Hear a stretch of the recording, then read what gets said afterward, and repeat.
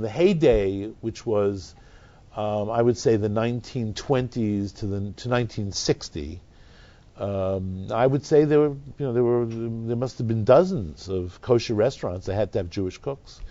Now you have Chinese cooks in the Jewish restaurants, and unless you have an owner who's watching all the time, and I mean every day and several times a day, the food's going to not be so Jewish tasting. Here's an example of how a little difference can make a big difference.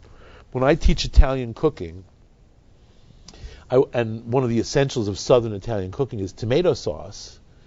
I you know show people you have to cook the onion to start the sauce very slowly so that it gets soft, but it doesn't turn color. Because if you get it brown, it's going to be a Jewish tomato sauce, but if it's blonde, it's a Neapolitan tomato sauce. Just that little difference makes a big difference in the end flavor. It tastes totally different. We like burned onions. Jews like like Jews like gribenes, and, and, and we like fried onions. Yeah, it's an essential flavor.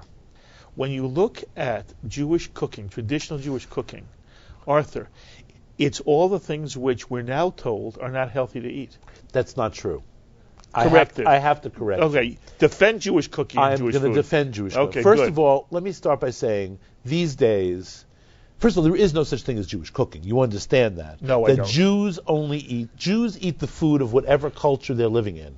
That's why Italian Jews eat Italian food, Mm-hmm. and Sephardic Jews of let's say if they're from uh, North Africa, they eat North African food. The thing is that what happens is you make all the dishes you know on these holidays, and then you get up from the table and say, "I just killed myself."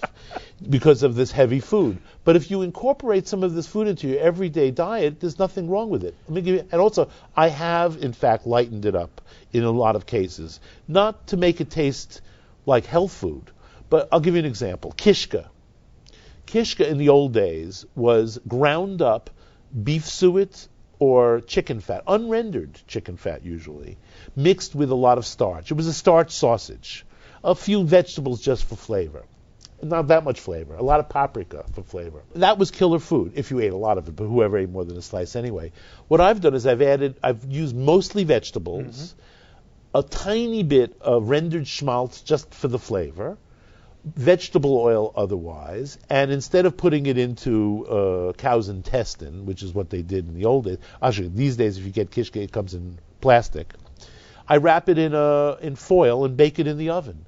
And there's nothing wrong with that. It's matzah meal is the main starch, and it's a lot of carrot, onion, and celery.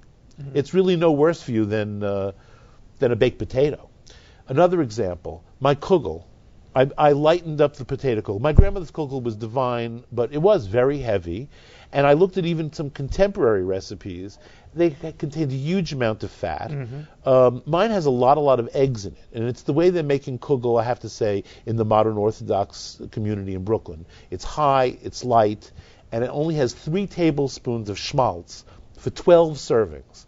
So it has the tom, it has the old-fashioned flavor of grandma or great grandma, but it's certainly contemporary. One, and uh, by the way, it's a nice portion. It has one egg, less than a teaspoon of fat, and the rest is potato and onion. But you put those- that next to a piece of grilled fish and add broccoli, and you've got a delicious contemporary Jewish meal.